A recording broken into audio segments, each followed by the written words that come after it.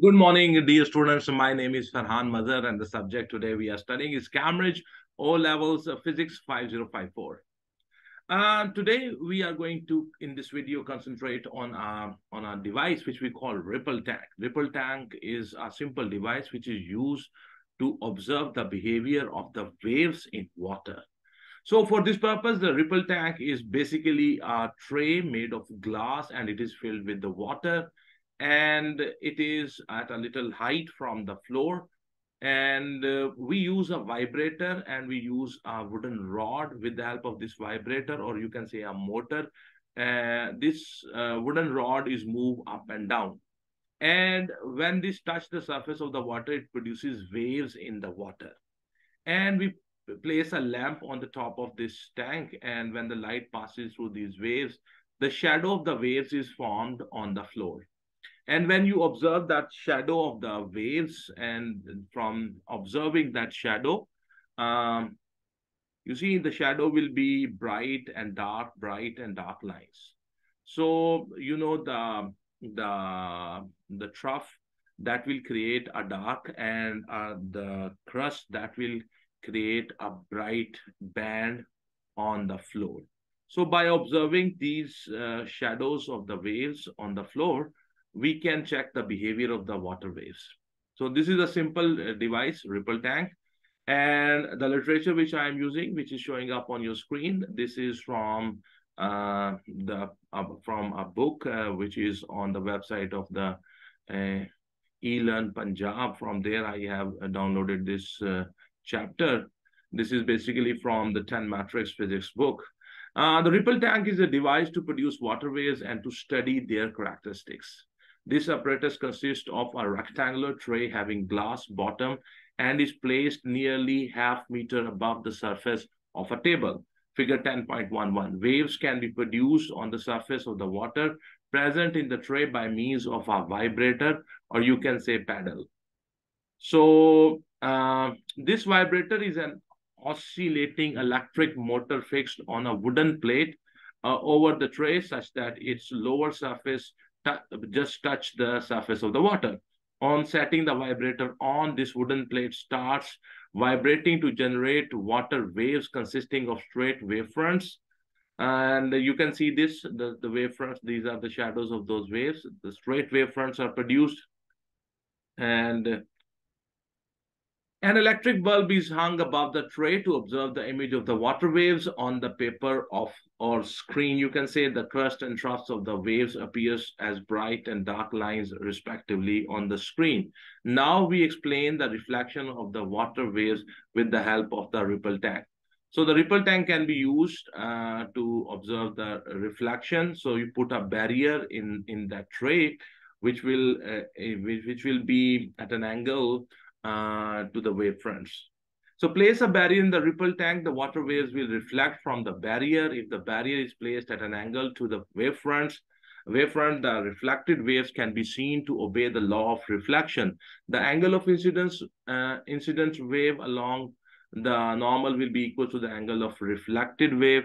Thus, we define reflection of waves as so uh, the when the waves moving in one medium fall on the surface of another medium, they bounce back into the first medium such that the angle of incidence is equals to the angle of reflection. Here you can see we have this barrier. The wavefronts are coming in this direction. After reflection, they will go in this direction. So the angle of incidence and the angle of reflection, they both will be equal to each other. And uh, the speed of a wave in water depends on the depth of water. If a block is submerged in the ripple tank, the depth of the water in the in the tank will be shallower over the block than uh, elsewhere. When the water waves enter the region of shallow water, their wavelength decreases, but the frequency of the water waves remains the same in both parts of the of the water because it is equals to the frequency of the uh, vibrator. So here we have a diagram. If you observe this, here they have placed a rectangular block in the water tray. So in this portion, the depth of the water is less. In this portion, the depth of the water is more. So this is deep water, this is shallow water. So when you will produce the wavefronts, when the wavefronts will uh, come in this region where the depth of the water is less, the water is shallow, you will observe that the wavelength of the water waves will decrease, their speed will decrease, the frequency will remain unchanged. In the deep water, the wavelength of the water waves is larger, the speed of the water waves is larger, and the frequency in both these portions of the water wave will remain the same. And then we have for the observation of refraction of the water waves, we repeat this above experiment such that the boundary between the deep and the shallow water is at some angle to the wavefronts. Here, the, the this is the boundary of from uh, after which the water is shallow, and that is parallel to the wave fronts. And if you put, if you make that boundary in, in, in such a way that it makes an angle with the coming wave fronts, then the when the water waves when, when, here they are in the deep water, when they will come in the portion where the water is shallow, and the boundary uh, of the shallow and the deep water is inclined with the it makes some angle with the wavefronts. Then the wavefronts, water wavefronts, when they will enter into the shallow water, their direction will change. They will bend towards the uh, uh, towards the normal, and their wavelength will decrease. For the observation observation of refraction of water waves, we repeat the above experiment such that the boundary between the deep and the shallower water is at some angle to the wavefront. Now we will observe that in addition to the change in the wavelength, the waves change their direction of propagation as well. Note that the direction of propagation is always normal to the wavefronts. The, this change of path of the water waves while passing from a region of deep water to that of the shallow water, shallower one is called refraction, which is defined as. So here we have that definition.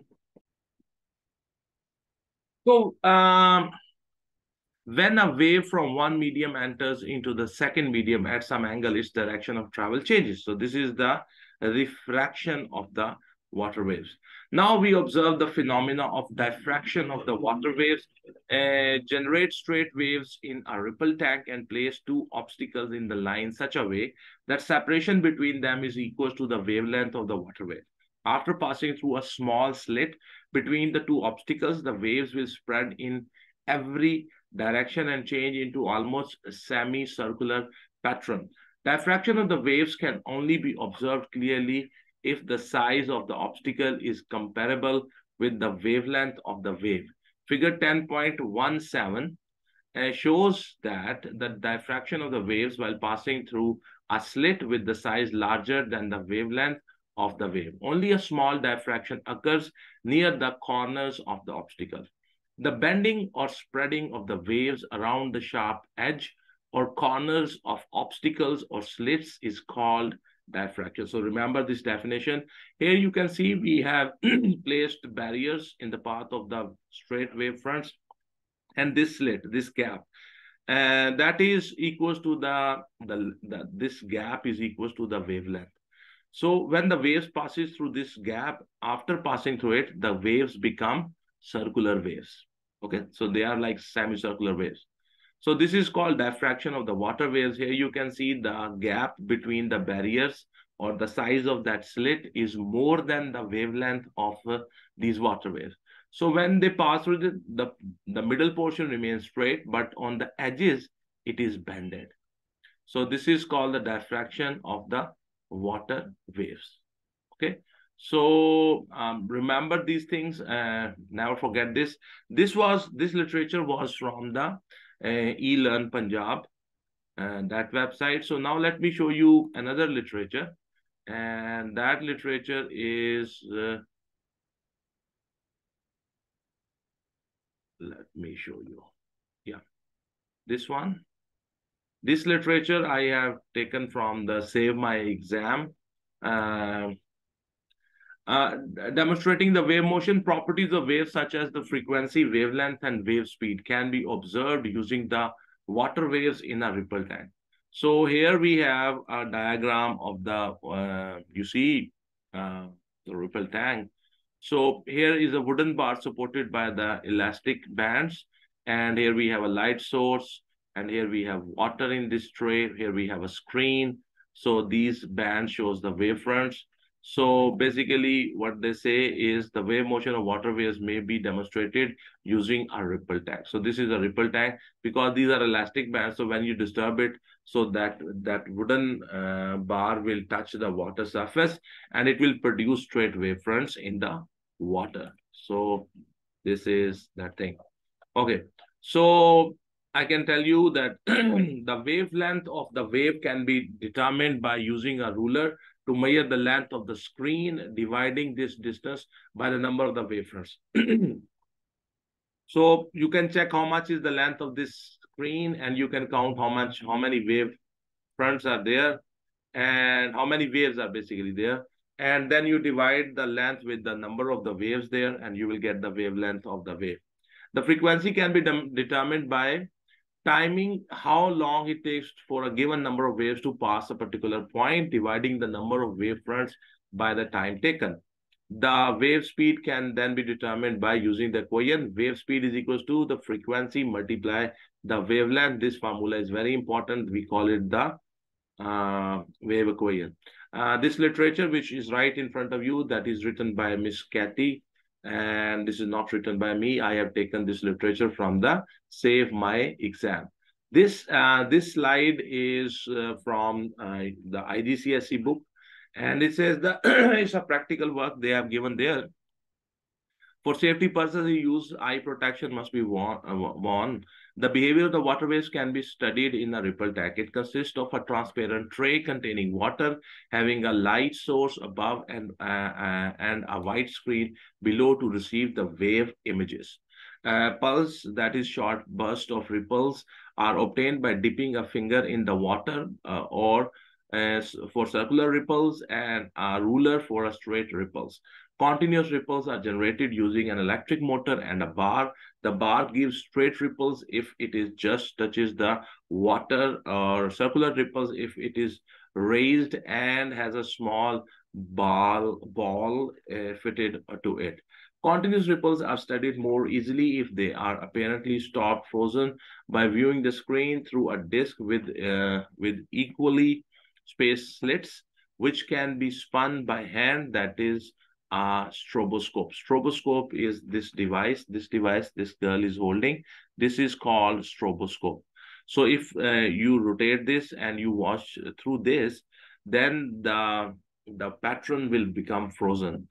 Uh, if the disk speed is such that the waves have advanced one wavelength each time, a slit passes uh, a slit passes your eye, they appear at rest.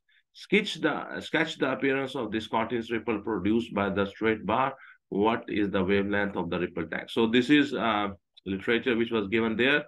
Then one very important thing is about the diffraction. This literature is coming from the book of IGCSE. So the diffraction through a narrow gap. In the figure 13.110A and 13.110B, straight water waves in a ripple tank are meeting gaps formed by obstacles. In the figure 3.1.10a, the gap is narrow and the wavefronts curve around the edges of the gap, producing a circular wavefront.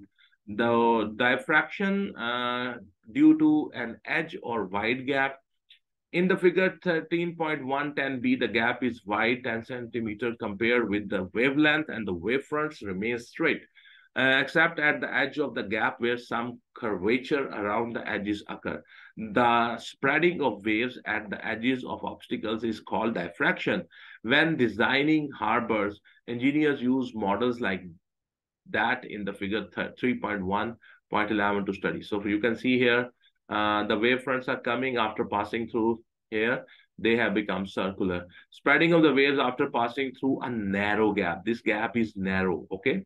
Narrow means it is approximately equals to the wavelength. This gap is larger uh, figure uh, spreading of the waves after passing through a wide gap. So in the middle, they remain straight. On the edges, they bend a little bit. This is called diffraction. So here is an example. These are, you can see the, this is actual diagram. And let me show you. So make it larger. So see what is happening. The wave wave fronts are coming, which are straight. After passing through this gap, and they have become circular waves. Okay, circular wavefront. Model of a harbor used to study wave behavior. So effect of the wavelength and the gap size on diffraction. In the figure 3.1.10a, the gap width is about the same as the wavelength of the wave. The wavefronts that passes will become circular and spread out in all directions. In the figure 3.1.10b, the gap is wide compared with the wavelength and the waves continue straight on. Some spreading occurs, but it is less obvious. So they are talking basically about, first of all, they are talking about this diagram where the gap is approximately equal to the wavelength and the waves spread in all directions. Here, only bending is done on the edges. So when the gap is larger. So diffraction at the at an edge. Uh, for a single edge, diffraction will occur at edge. The spreading and the curvature of the wavefront around the edge will be more noticeable for longer wavelengths. Diffraction of radio waves around an optical is shown in the figure. 3.1.4a on the page 162 and this is that diagram here the radio waves are coming here is that edge of the obstacle so that you can see they have bended so this is called the diffraction so my dear students in this video we have talked about the ripple tank we have talked about the reflection and refraction and the diffraction of the uh, water waves and microwaves and I hope that now you recognize these diagrams. You will never forget these diagrams because they have been tested in the in your exam. So I hope this uh, video will help you and it will help you to understand the concept uh, about the ripple tank and the diffraction of the water waves. So thank you very much. Have a good day. If you find this video interesting, useful, uh, to you, please share the link of this video with your friends, with your junior, with your senior students, with your teachers. Also, share the link of this video onto your Facebook and onto your Instagram, onto your Twitter accounts. That helps me to promote my channel. I am grateful to God that He has given me this opportunity that I can make these videos which can touch the life of so many students around the globe. Thank you very much. Have a good day. God bless you.